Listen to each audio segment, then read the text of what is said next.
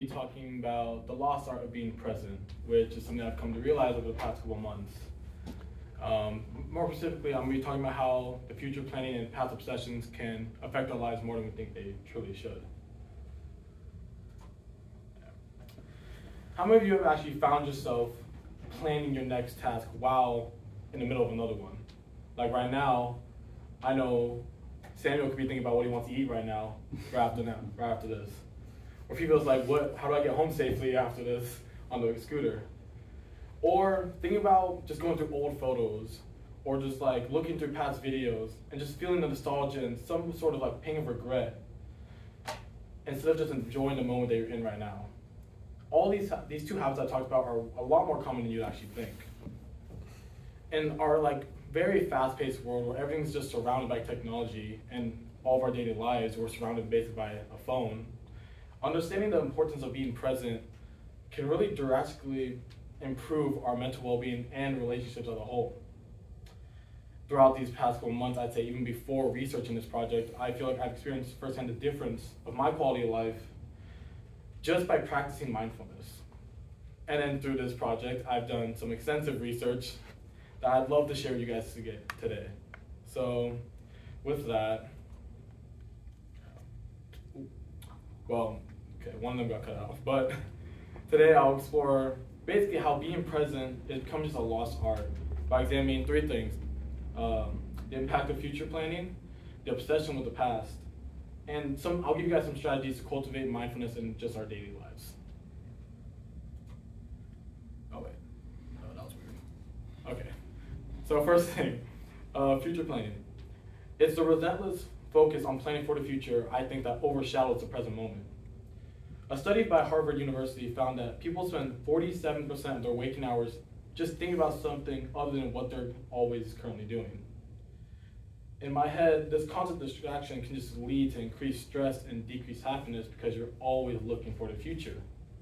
You're never once thinking about where your life is at the moment, where it can be just right now. We're in a very air conditioned room where there's electricity.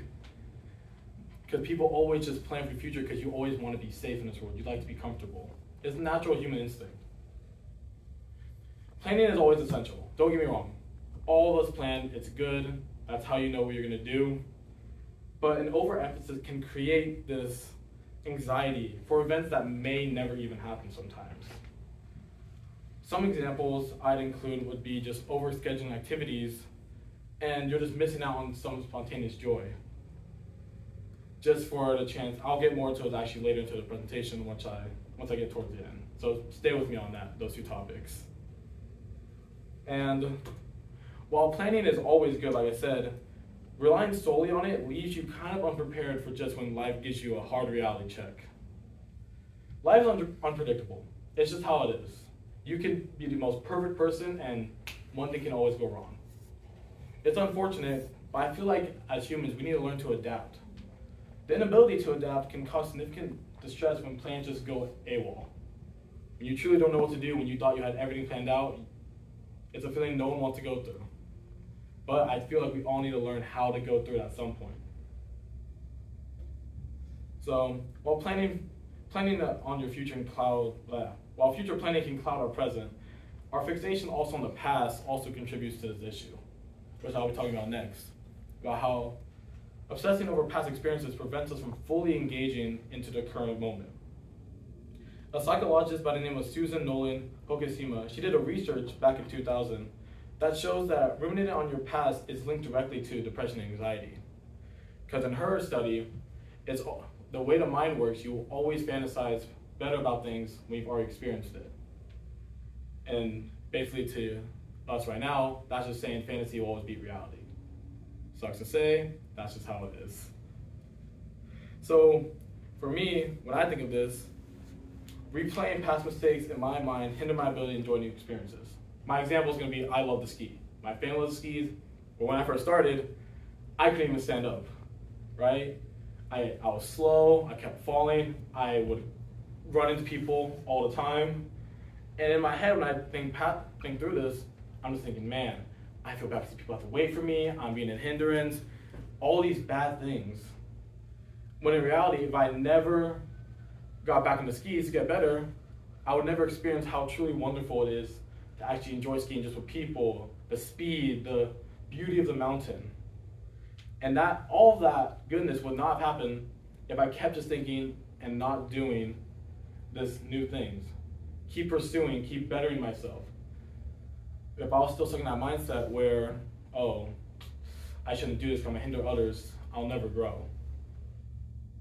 Now, overanalysis, though, too, like I said on past events, can lead to regret and prevent us from moving forward. The strategy I used was self compassion and positive memories. I switched my memories from thinking, okay, I'm enjoying the mountains.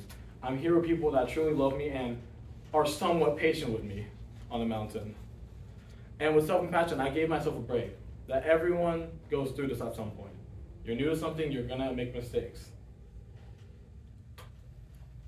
Now, to address these challenges, I'll be talking about some mindfulness activities that can help us reclaim being present.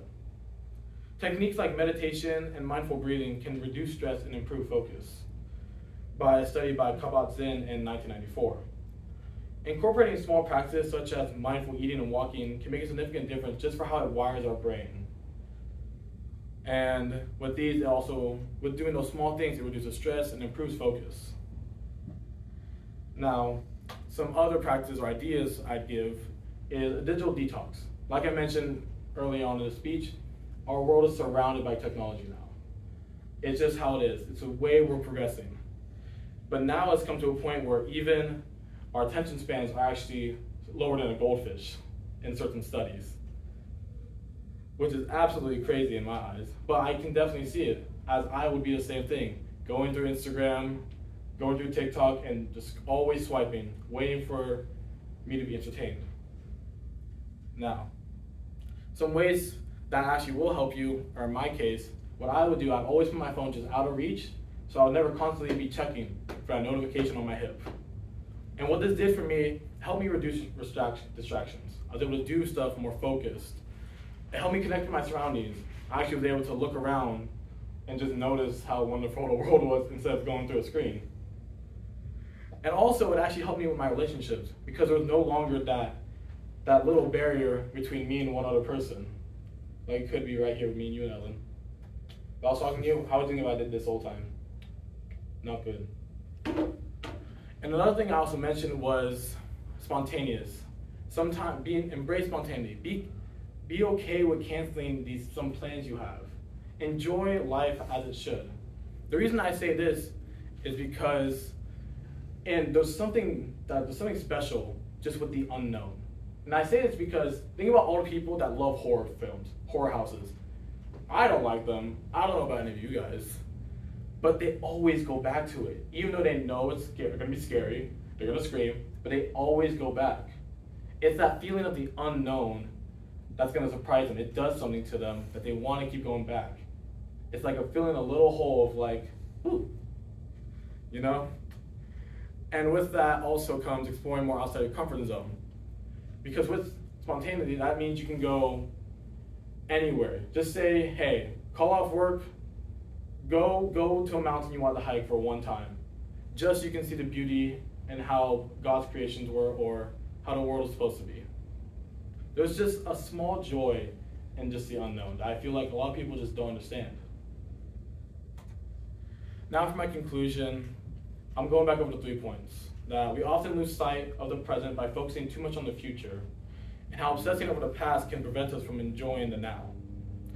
And I gave you guys some mindfulness practices that we can use to reclaim by balancing our attention between the past, future, and present.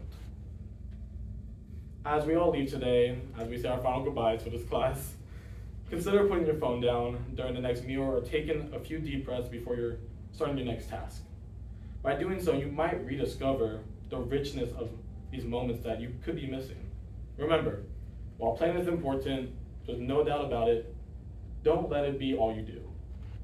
Embrace the unexpected and don't be afraid to cancel plans just to go out and see the world.